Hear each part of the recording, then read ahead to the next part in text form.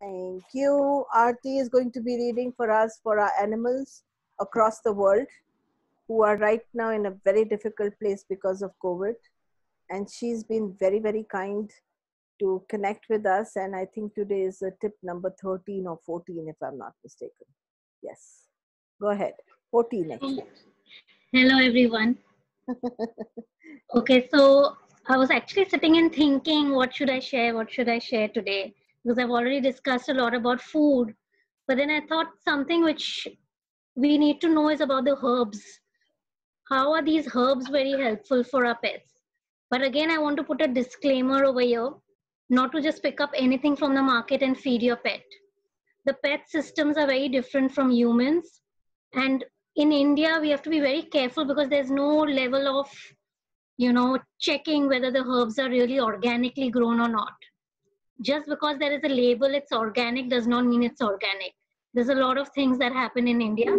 So ideally, I would suggest to procure your, either if you know someone who's really taking something, uh, you know, growing something really organically or selling something very organically, where you are completely sure that your pet is going to be safe, then go for it.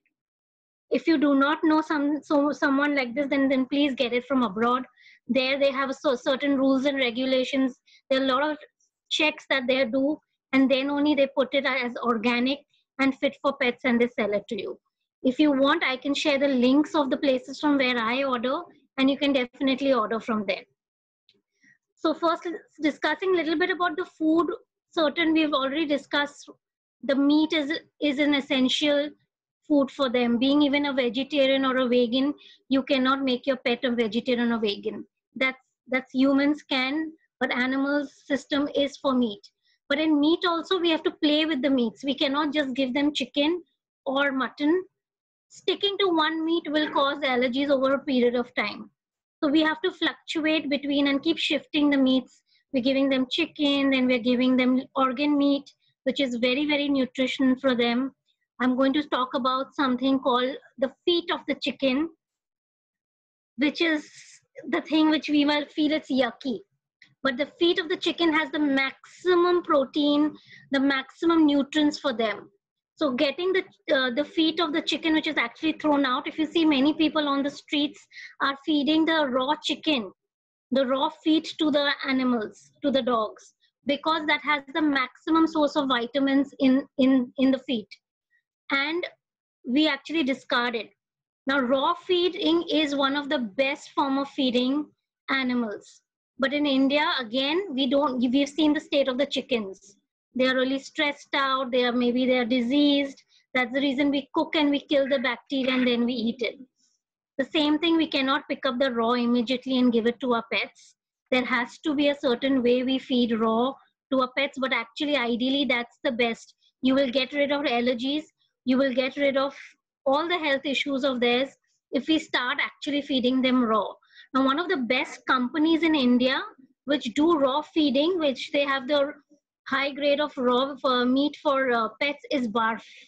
If you can afford it, it's very good that you can pick up from there and you can start feeding them raw.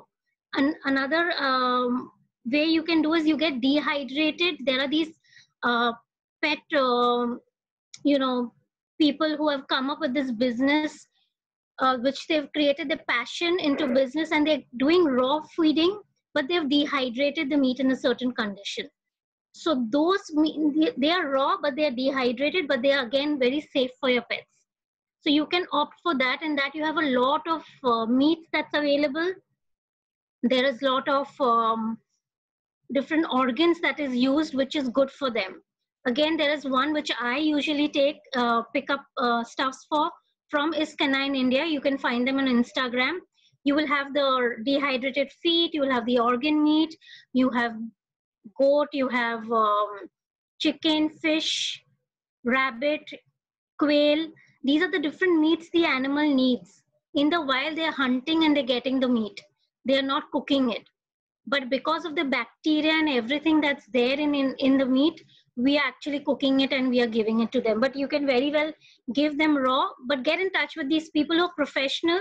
So you know your, your animal is in safe hands. Don't just get the meat from the market and start feeding raw to your pet because even raw feeding has to be done in a particular manner with them.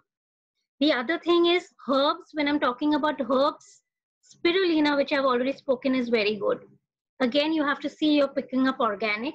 You can directly get in touch with people who are professionally now doing it. There are a lot of things available in India today.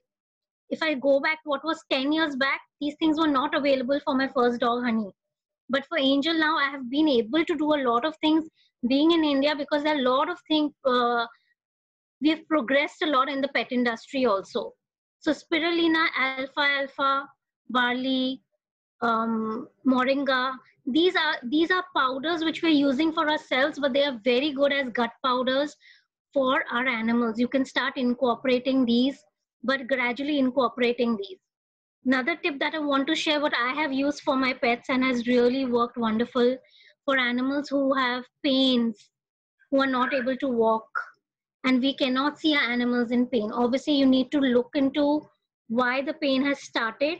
But there are three oils which I'm going to mention, which is Ayurvedic oils, which used only for massaging your pets can actually strengthen their muscles as well as help them get rid of the pain.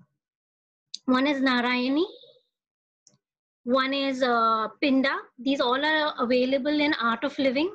They are organic oils which can be used in your uh, pets. You have to just mix in equal proportion and just massage your pet. And you will start seeing that there are changes in their pain management as well as their muscles getting stronger. And the third one is Krish, Krishbala. I have these oils here. I thought I'll remove and show it to you all.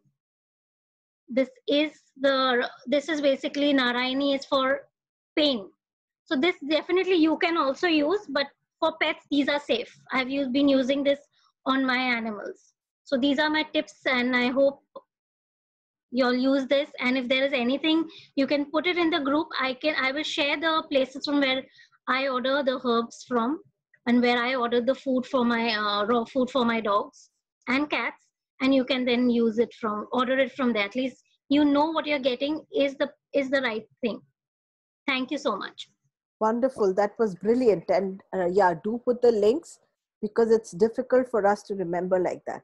So brilliant. Thank you so much, Aarti, for sharing that. I'm going to my next speaker.